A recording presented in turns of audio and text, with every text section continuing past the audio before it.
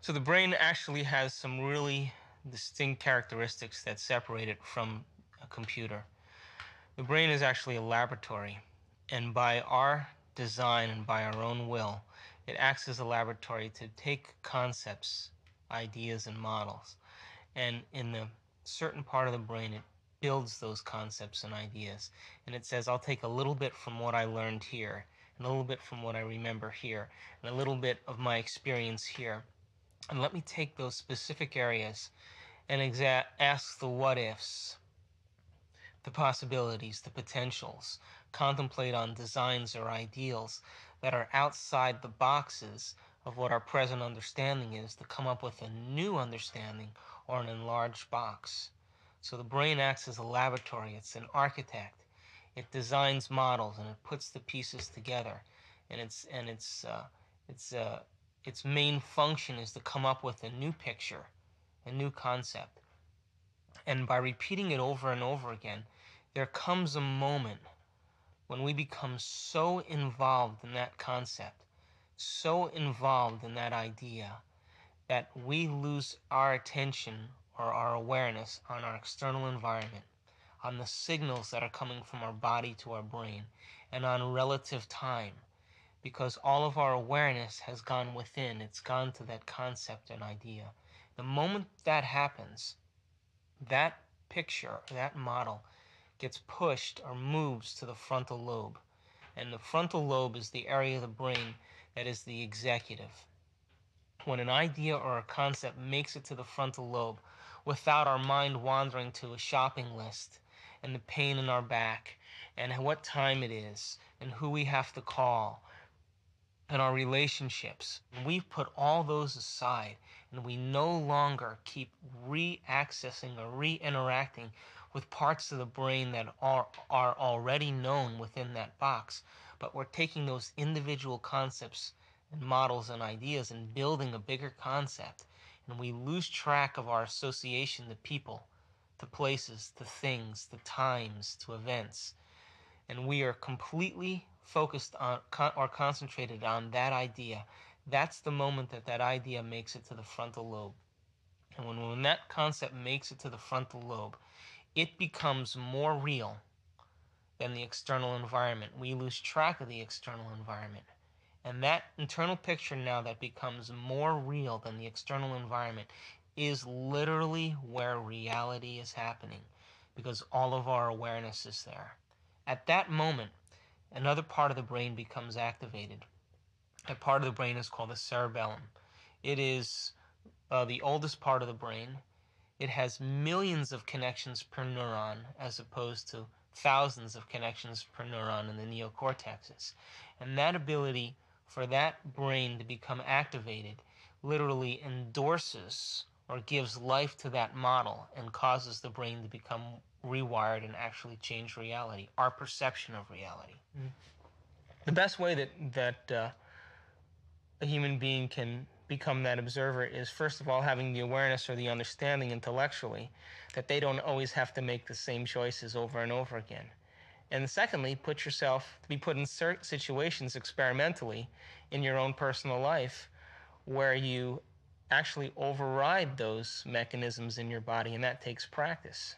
It's not something that we can do immediately because there is a tendency biologically for us to respond to preserve the body. The brain has certain centers in it that are only concerned with the preservation of the body. And the moment that we respond, those those centers kick in, and uh, it becomes uh, almost breaking the habit of being human. We have to gain control and override those physiological functions that happen in our body. And the moment that we do that, each time we override those physiological responses, we're changing brain chemistry and actually breaking the addiction to that stimulus and response that uh, so many people live by every day. Is there a physical change that happens in the brain, brain or is it just in some nebulous uh, mind state that this change happens? Well, in order to explain uh, the physiological chemistry in the brain, let's just back up here and give you just a little bit more on anatomy so that and uh, brain function so that we can address uh, the chemical changes that take place in the body. But remember, we talked about that tree that has all those branches that connect to other trees, and every place that it connects forms a thought or a memory. And that memory becomes wired in the brain. And if we get a series of uh, experiences and information, we call that whole cluster of neurons a neuronet. Well, every experience that we've had in our life that the brain builds on, it builds on a law of association.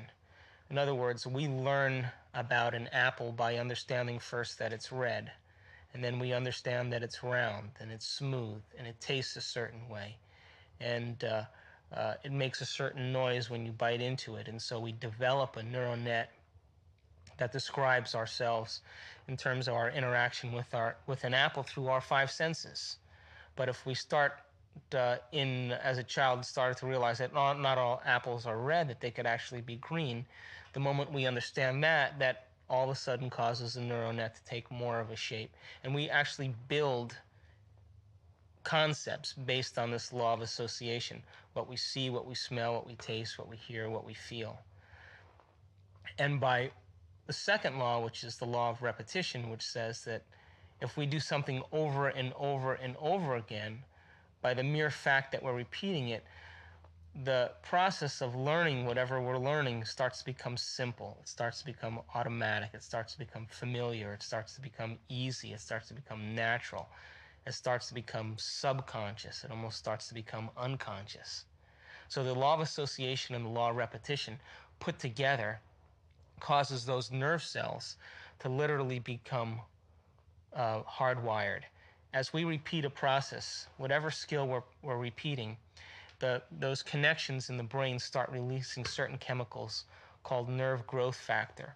And that nerve growth factor acts almost like a Miracle-Gro to cause a long term relationship between one neuron and the next neuron. And that's what causes us to go from something that we have to put so much conscious awareness on and so much attention on to learn to all of a sudden to be able to do something automatically and easily.